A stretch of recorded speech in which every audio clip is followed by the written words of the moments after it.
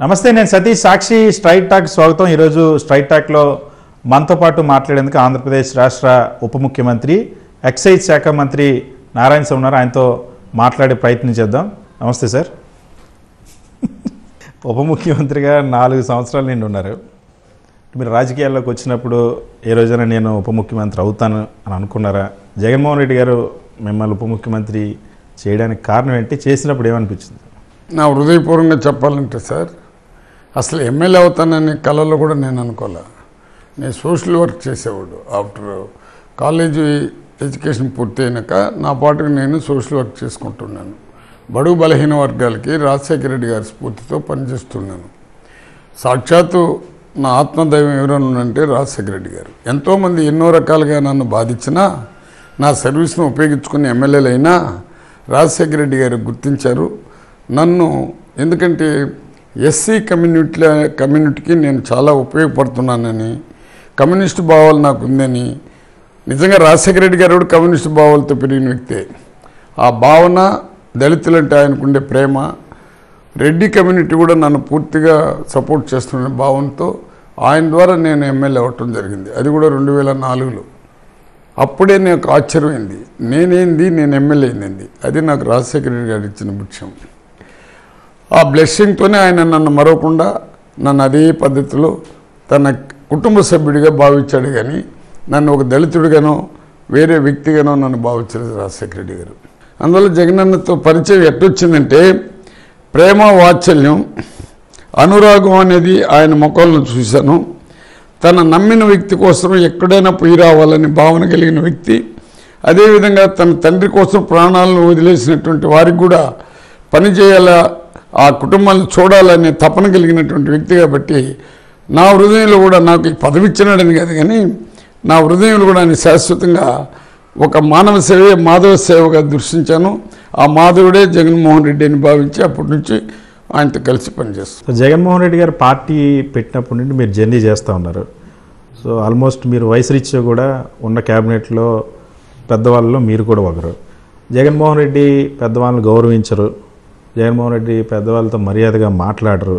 జగన్మోహన్ రెడ్డి పెద్దవాళ్ళని అవమానపరుస్తారని బాగా ప్రచారం జరుగుతుంది. సో మీ పర్సనల్ ఎక్స్పీరియన్స్ చాలా పార్టీ పెట్టిన క్షణం నుండి ఈ రోజు వరకు కూడా మీరు ఉన్నారు. ఇప్పుడు నేను చెప్తే మళ్ళీ మీరు పార్టీ ప్రకారం మాట్లాడుతున్నారంటారు. అసలు జగనన్న ఎవరిని ఆశ్రయించుకున్నారో నాకు అర్థం కల. ఈ క్రియేట్ చేసి జగనన్న పైన దుష్ప్రచారం చేస్తుండేది ఎవరు తెలుసా? అభివృద్ధిని అడ్డుకునే మహానుభావులు రాక్షస మనస్తత్వం ఉండేవాళ్ళు ఈ పదవి కోసమో ఈ పదవి దాహం ఉండేవాడు డబ్బు దాహం ఉండేవాళ్ళు చేసిన ప్రచారాలు ఇవి. ఎవరిని కూడా జగన్మోహన్ రెడ్డి గారు తనకన్నా ఒక సంవత్సరం పెద్దవాళ్ళని కూడా అన్నాన్ని పిలిచే స్వభావం కలిగిన వ్యక్తి మన ఇండియాలోనే ముఖ్యమంత్రిగా ఉన్న వ్యక్తి ఆయన ఒక్కడే. ఐఏఎస్ ఆఫీసర్ని కూడా అన్నాన్ని పిలుస్తాడు. ఎవరండి? ఎవరినండి అన్నాన్ని పిలవంది ఆయనకన్నా చిన్న వయసు ఉండే వాళ్ళని మాత్రం పేరు పెట్టి పిలుస్తాడు అది నేను లేదనలేదు కానీ ఆయనకన్నా ఒక్క ఒక్కరోజు ముందు ఉండారని అతనికి వీళ్ళు మన వీళ్ళు నాకన్నా పెద్దవాళ్ళు అనేటప్పుడు అక్కడ కుల వ్యవస్థ మత వ్యవస్థ పార్టీ వ్యవస్థ ఆ గర్వం అహంకారం అనేది ఆయన ఆయన మైండ్లో కానీ ఆయన కంటిలో కానీ ఆయన హృదయంలో కానీ కనబడలా. ప్రేమతో అన్నాన్ని పిలుస్తాడు. ఏ ఏ ఏ దరిద్రులు ప్రే చీఫ్ మినిస్టర్ ఉండేవాళ్ళు చిన్న వయసులో ముఖ్యమంత్రి అయిన వాళ్ళు కూడా పేరు పెట్టి పిలిచేవాళ్ళు. బట్ జగన్ అన్న ఎవరినైనా ఐఏఎస్ ఆఫీసర్ని ఒక్క సంవత్సరం పెద్దోళ్ళని కూడా అన్నాన్ని పిలుస్తాడు. ఇప్పుడు క్యాబినెట్లో మేమంతా ఉన్నాము ఏ మంత్రి కూడా ఆయనకన్నా పెద్దోళ్ళు ఉంటే అన్నాన్ని పిలుస్తుంటాడు కానీ ఒక్కరిని కూడా పేరు పెట్టి కూడా పిలవడు. అది ఆయన స్వభావం. దాన్ని కూడా రకరకాలైన వక్రీకరణతో మాట్లాడితే మనం ఏం మాట్లాడాలా? అందుకే ఆయన పేద గుండెల్లో ప్రజ ప్రజల గుండెల్లో శాశ్వతంగా నిలిచిపోయాడు. నేను ఇంకొక మాట అంటే మీరు ఆశ్చర్యపోతారేమో ప్రజలందరూ కూడా. అందరిని పిలుద్దాం. ఏ పార్టీ ప్రతి ఒక్క పార్టీని నాతో కూడా రమ్మనండి. ఏ పార్టీ దగ్గరికి పోయినా అవ్వాతాతలు జగన్మోహన్ రెడ్డి నా పెద్ద కొడుకు అంటారా? వేరే వాళ్ళు అంటారా? దాన్ని ఒక మీరు కంప్లీట్గా స్టడీ చేయండి కావాల్సి ఉంటే ఏ ఇంటికి పోయినా ఏమండి ఇది ఎవరు వేస్తున్న పథకాలంటే జగన్ అని అంటారు. ఆ ప్రేమను ఇంకెవడు సంపాదించుకోలేదండి. ఏమ్మా ఎందుకు మీరు ఆ విధంగా నవ్వు ఇంకోటి జగన్ అంటేనే నవ్వుతారు. ఏమ్మా నవ్వుతారని ఒక చిన్న బిడ్డని ఒక ఇరవై ముప్పై సంవత్సరాలు ఆమెను అడిగితే నా బిడ్డని చదివిస్తున్నాడు నాకు అప్పుల పాలు లేకుండా నా బిడ్డని చూస్తూ ఉండడు అందుకే జగన్ పేరు చెప్తేనే మేము నవ్వుతూ ఉంటారు. నలభై ఐదు నుంచి అరవై సంవత్సరాలు కలిగిన వాళ్ళు యా జాతి వాళ్ళ మరి ఎస్సీ ఎస్టీ బీసీ మైనార్టీలను పోయి అడిగినప్పుడు వాళ్ళు ఏమంటారంటే మేము పని చేయలేమని నలభై ఐదు నుంచి నా అరవై సంవత్సరం ఉండే వాళ్ళకి పద్దెనిమిది వేల ఏడు వందల యాభై రూపాయలని ఎస్సీ కానీ ఎస్టీ కానీ బీసీ కానీ మైనార్టీ కానీ కావాలంటే రండి ఉన్నది కూడా. వాళ్ళ ప్రేమతో నా బిడ్డ అంటుండరు. అదేవిధంగా ఓల్డ్ ఏజ్ పెన్షన్ పోయి చూస్తే అది కమ్మ రెడ్డ రాజా నాయుడు అనే ఆలోచన లేకుండా తన బిడ్డలు ఎదురుగుండా ఉంటే కూడా ఏమ్మా నీ కొడుకులు నీకు భోజనం పెడుతున్నారంటే నా కొడుకు ఉండేటప్పుడు మాకేమండి బాధ నా కొడుకే పెడుతున్నారంటే ఎవరమ్మా నీ కొడుకు అంటే నవ్వుతూ జగన్మోహన్ రెడ్డి మా కొడుకు అంటారు. అది కమ్మోళ్ళ నోట్లో వస్తున్నది కాపుల నోట్లో వస్తున్నది మైనారిటీ నోట్లో వస్తున్నది బీసీ నోట్లో వస్తుంది మరి ఈ పేరు ఎవడు తెచ్చుకున్నారు ఇండియాలో చెప్పండి మీరు. సో దళితులకి ఈ ప్రభుత్వం మోసం చేస్తుంది. చంద్రబాబు నాయుడు అని చెప్తున్నాడు. జగన్మోహన్ రెడ్డి దళితులు ఓట్లు వేయించుకొని దళితుల్ని మోసం చేశారు. దళితులకు ఉన్నటువంటి పథకాలన్నీ కూడా తొలగించేశారని చెప్పి చంద్రబాబు నాయుడు అంటున్నాడు. ఇద్దరిలో దళితులకి ఎవరు మేలు చేశారు సార్? ఇప్పుడు చంద్రబాబు దళితులకి ఏదైనా చేసి ఉంటే మీరు అడిగే క్వశ్చన్కి నేను జవాబు చెప్పాల్సిందే. చంద్రబాబు నాయుడు మాలా మాదిరిని చీల్చినాడు. మేము అన్నదమ్ముల మాదిరిగా ఉన్నాము. చంద్రబాబు నాయుడు ఎస్సీగా పుడతారన్న ఎవరైనా ఎస్సీగా పుడతారని ఒక ముఖ్యమంత్రి ఉండేవాడే ఎస్సీగా పుడతారని చెప్పినప్పుడే చంద్రబాబు నాయుడు ఎస్సీలకి శత్రువుగా మేము భావిస్తూ ఉన్నాము. అసలు చంద్రబాబు నాయుడు ఎస్సీలకి ఏం చేసినాడో చెప్పమనండి. జగనన్నకి చంద్రబాబుకి వ్యత్యాసం ఏమంటే ఎస్సీలకు ఆరాధ దైవం ఎవరైనా ఉన్నారంటే ఫస్ట్ అంబేద్కర్ నెక్స్ట్ ఇప్పుడు నిజమైన ఆరాధ్యం దైవం ఎవరైనా కనబడుతున్నారంటే జగన్మోహన్ రెడ్డి.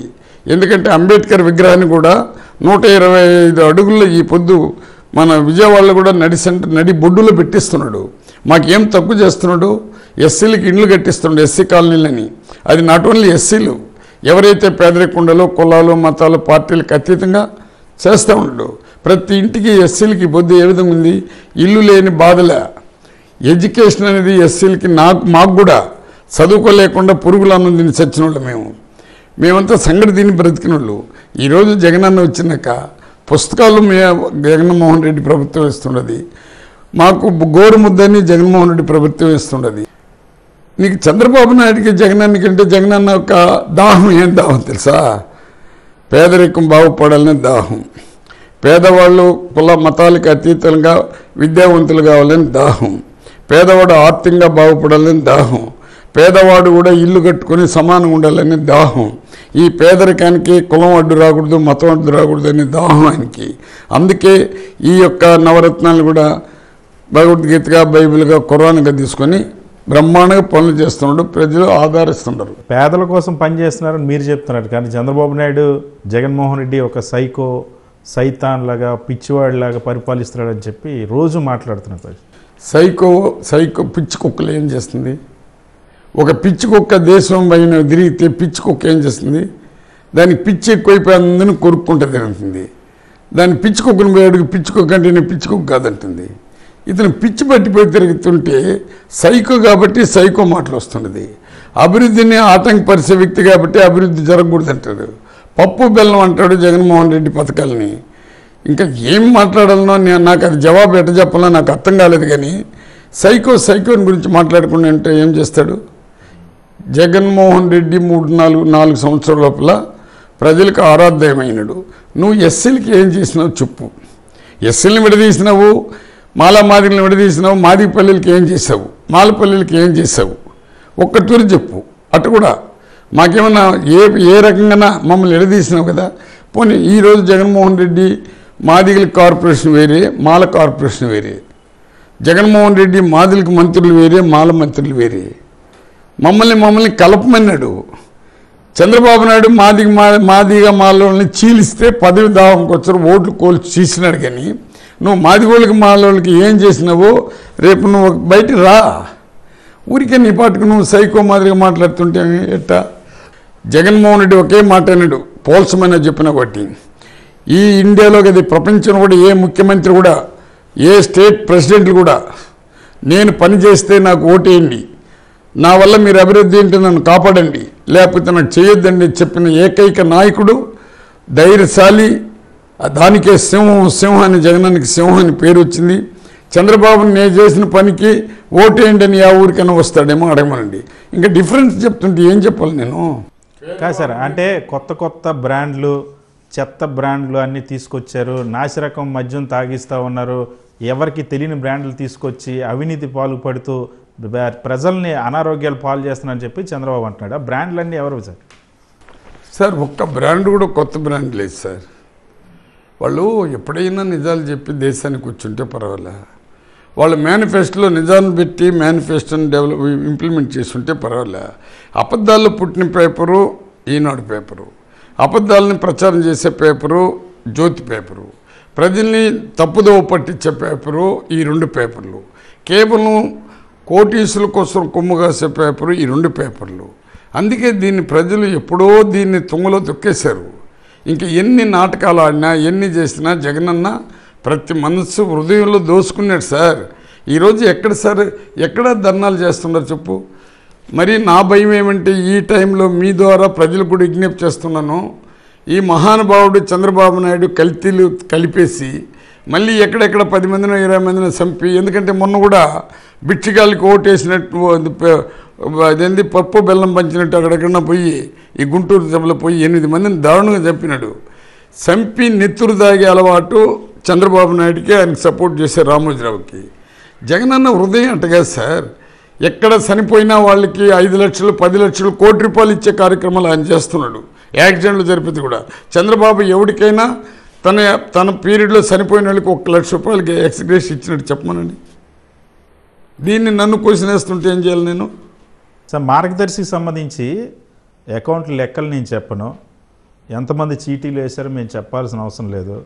ఈ రాష్ట్ర ప్రభుత్వానికి మేము లెక్కలు చెప్పాల్సిన అవసరం లేదు అని చెప్పి రామోజీరావు సంస్థ యాజమాన్యం అంటుంది. రామోజీరావు గారు బెడ్ మీద ఉన్నా సరే విచారించి వేధిస్తోంది సిఐడి అని చెప్పేసి తెలుగుదేశం వాళ్ళు విమర్శిస్తుంది సార్ దొంగల గురించి మీకు తెలుసా? నువ్వు దొంగను పట్టుకుంటే దొంగ నేను దొంగలు అని చెప్తాడా? గజ దొంగ ఎవరు? రామోజీరావు. గజ దొంగ నోటిలో దొంగతనం చేసినాడని ఒప్పుకుంటాడా? ఇన్ని రోజులు ప్రజల్లో రామోజీరావు అనే వ్యక్తి పేపర్లు రాసి ప్రజల కోసం ఉపయోగపడినాడనే భావన ఒక పది సంవత్సరాలకు ముందు ఉండింది వాస్తవం. ఇప్పుడు గజ దొంగ అయిపోయినాక నేను దొంగతనం చేయలేదంటే విచారించే దాంట్లో నువ్వు నిర్భయంగా నువ్వు విచారణలో మాట్లాడు. నువ్వు నిజంగా దొంగ కాబట్టి దొంగ కాదని నిరూపించుకో. నీకెందుకు ఎట్ట వచ్చింది ఈ డబ్బులు చెప్పు. నేను ఎవరు డిపాజిట్లు చేస్తారో వాళ్ళ పేర్లు చెప్పను.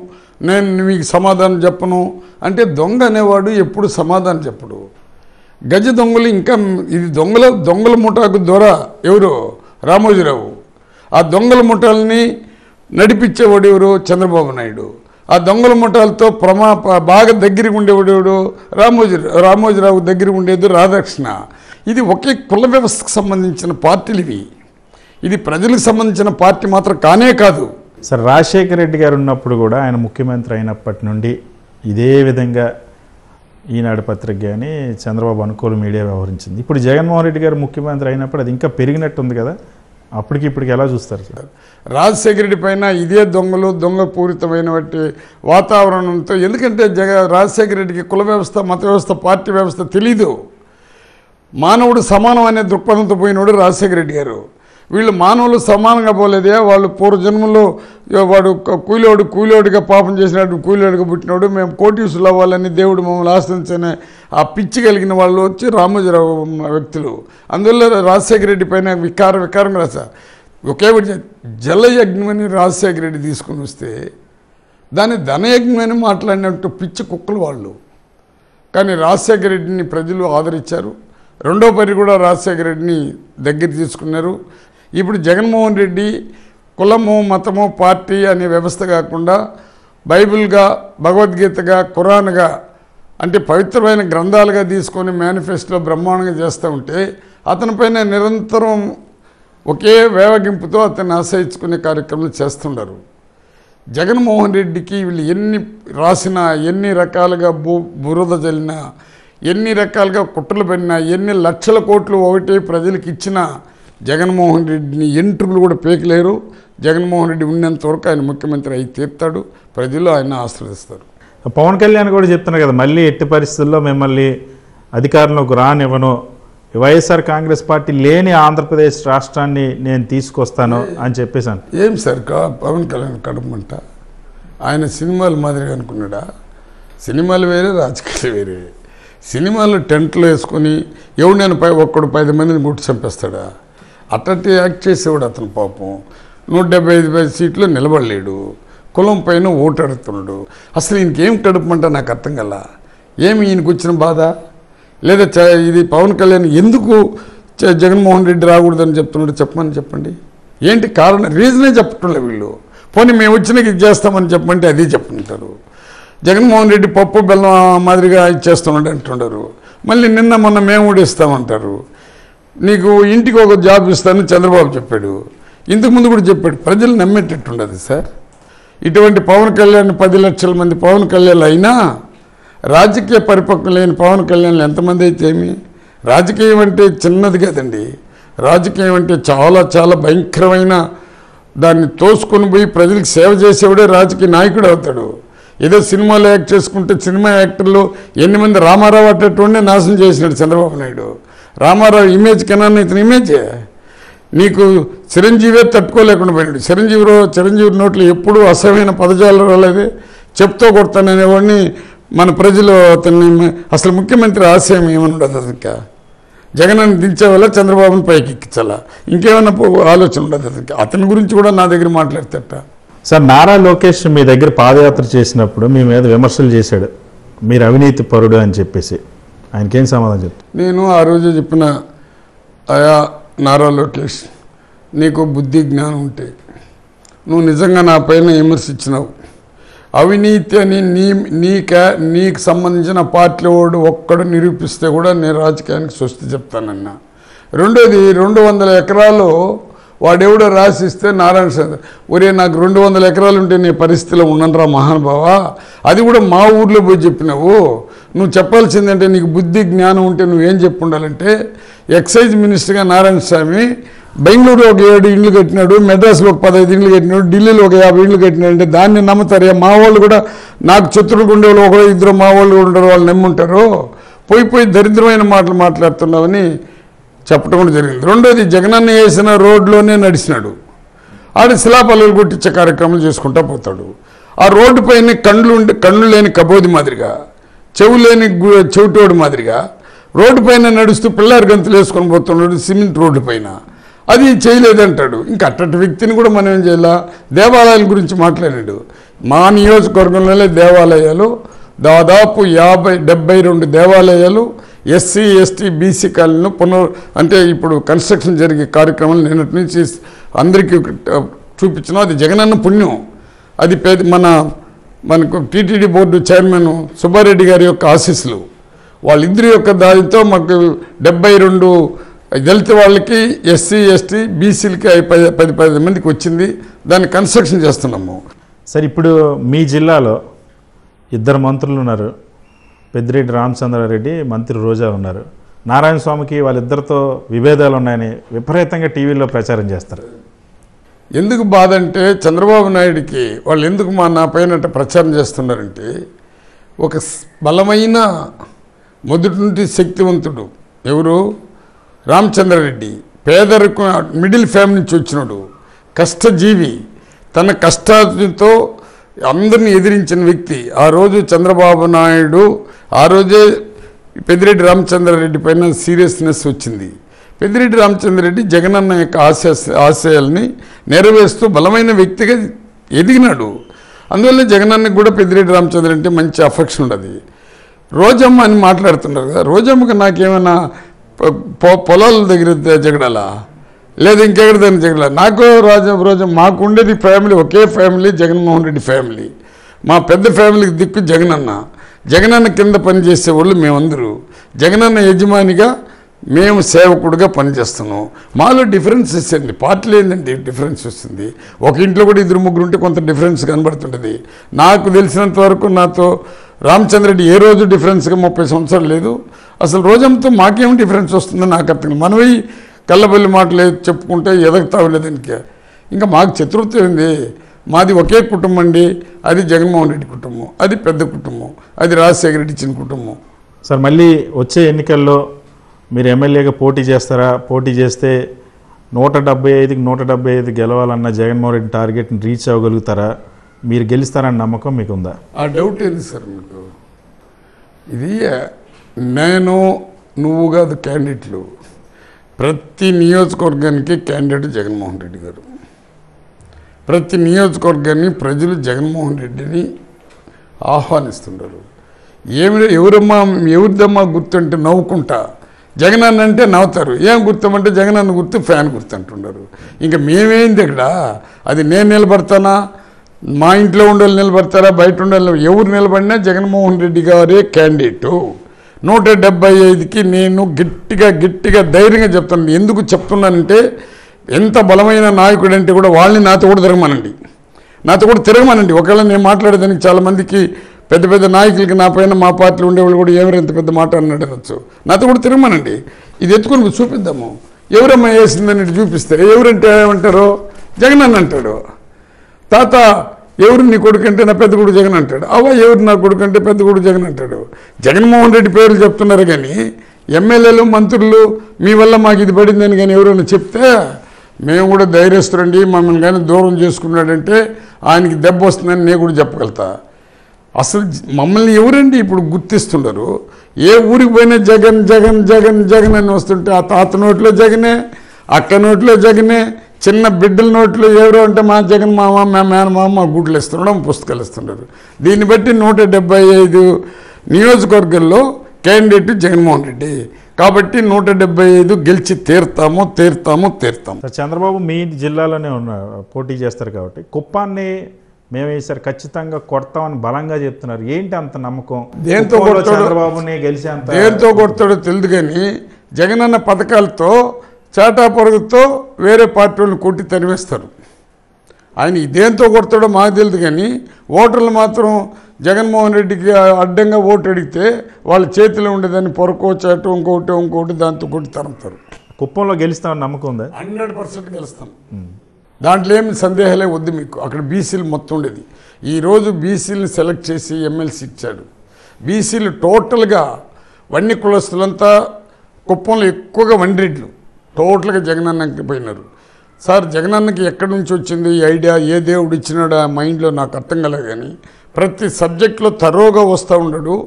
ఐఏఎస్ ఆఫీసర్లు కూడా ఆయన నేను రివ్యూకి పోతుంటాను. ఆయన మొహం చూస్తేనే మాకు బేదిలు ఎవ్వరు కూడా ఆయన వేసే క్వశ్చన్కి సరైన జవాబు చెప్పలేకపోతున్నారు.